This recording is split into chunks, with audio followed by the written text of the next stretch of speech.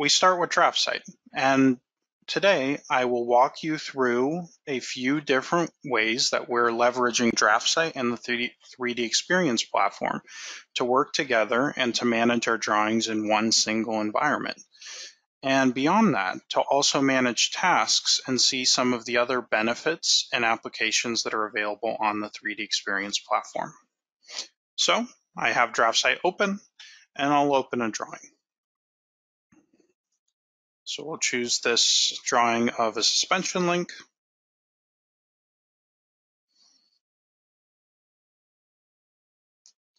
Loaded beautifully in DraftSight. And now let's take a look at the 3D Experience task pane on the right side of the screen. I'm going to expand it so it's a little bit easier to see for everyone. And here, as soon as we open a drawing in DraftSight, the platform is able to see and recognize that we're working on a uh, particular drawing on a DWG. Few things to point out. Uh, we can see what the title of the drawing is. We can see its current status. And in this case, currently it is not synced and not stored on the 3D Experience platform. We can see which revision we're working on and if this is the latest version that's available uh, on the cloud. So to get started, the first thing that I'd like to do is show you the various options that are available when managing a drawing on the platform. So of course, if you have a drawing saved, you can open it directly from the platform into DraftSight. Uh, we can save it, which we'll do in a moment. We can also reserve it to make sure that no one else is working on a drawing that we are working on. And as soon as we finish making any changes, we can unreserve it. We can make sure we're working on the latest copy by reloading it from the server and also replacing it by a revision if we're working on a different one. We can control the maturity of a drawing and create a new revision of this specific drawing directly through the DraftSight interface. So first, let's save the drawing so it's available on the platform. We can verify that the status of the drawing is okay. We're saving revision A1. We'll check and click Save. The drawing is automatically saved and uploaded to the platform and available to all other users.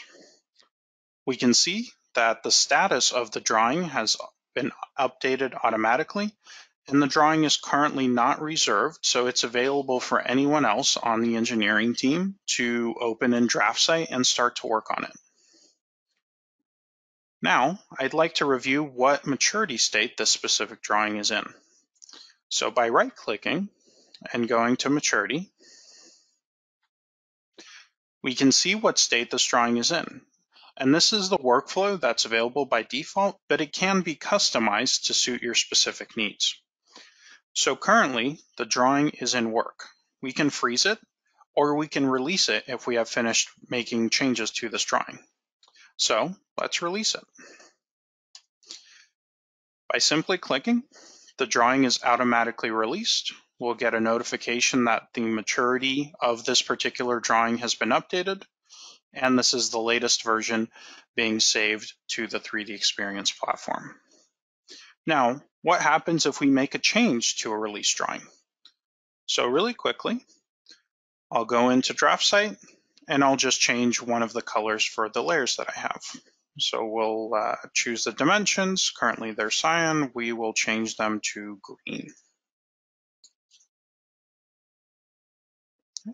I'll save this locally.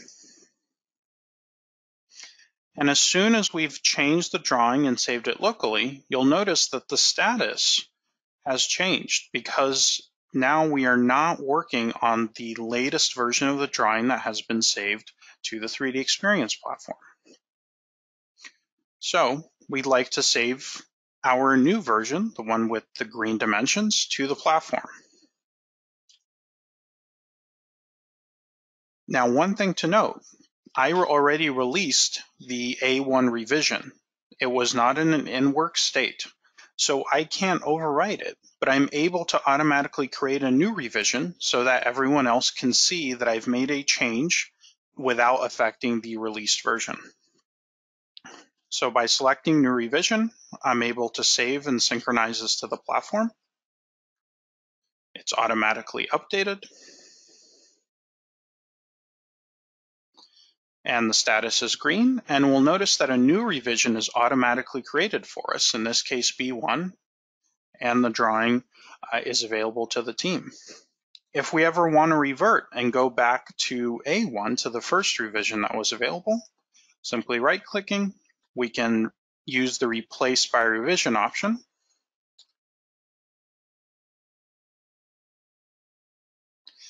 And we're able to see what revisions are available. So let's select A1. We'll overwrite any of the changes that I've made. And come back to our original drawing. So this is a simple example of how we can manage our drawings directly from DraftSight and from our desktop into the cloud so that it's available to everyone. We can create new revisions automatically and not have to waste time emailing or chasing down the latest versions of any drawing. But we can go a step beyond that. We can collaborate and manage and assign tasks. So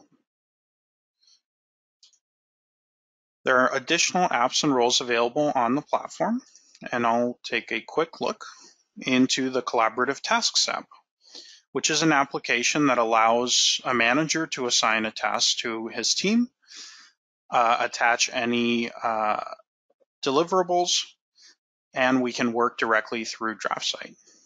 So I've been assigned a task of finishing a drawing. Currently, it is in a to-do state, and I can also see that there's an attachment for this task. I'd like to start working on it.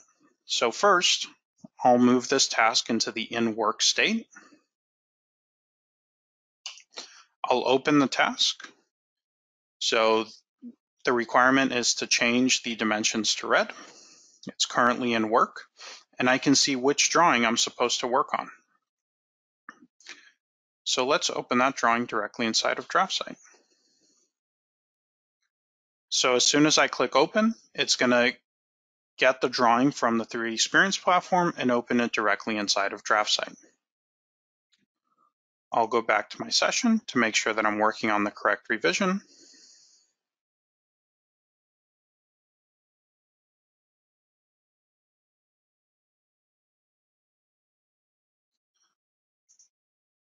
Make sure it's saved locally as well. And we can see that because I've made a change, drawing has not been synced to the platform. Also, I'd like to reserve it to make sure I'm the only one who has access to it at this time. And you'll notice that as soon as a drawing is reserved, you'll get this little green key icon to make sure to show that you're the only one who can access and work on the drawing at a given time. Now we'll make a change. So We'll make the dimensions green as requested, sorry, red as requested. We'll save it here. And then make sure the latest version is updated to the platform. Now, the drawing is an in-work state. It hasn't been released. So we can override what's been stored in the cloud and click Save.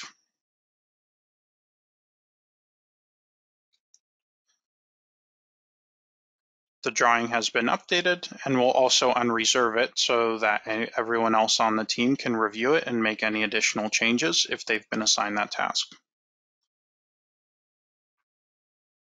The drawing has been unreserved. We're working with the latest version, so our job is complete.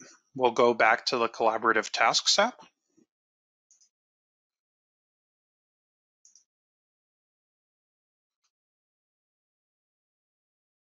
and we'll mark this task as complete.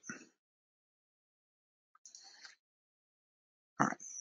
So we just looked at a way of leveraging the 3D Experience platform beyond just managing a drawing. We can also assign tasks, add attachments to them for other engineers to complete, make adjustments, uh, assign deliverables, upload the latest versions, and complete our workflow. So let's actually take a look at the 3D Experience platform.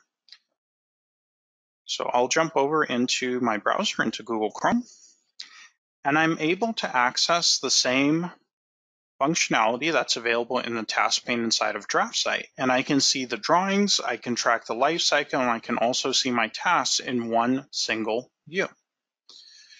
So first, I'd like to review the drawing that I was just working on a minute ago, and I'd like to see what state it's in. By dragging it into the Collaborative Lifecycle app, I can see that this was revision A1. It was modified uh, about a minute ago by us when we updated and saved it to the platform. And now we'd like to release the drawing. It's automatically been updated. If it ever becomes obsolete, we can make additional changes. We can send it back to the in-work state. And this is just working with drawings. We can also create revisions directly on the fly uh, inside of our browser, inside of the platform, and we can go a step beyond that. So let's take a look at some of the other applications that are available on the platform that help us get our job done. So let's jump over into the project management task.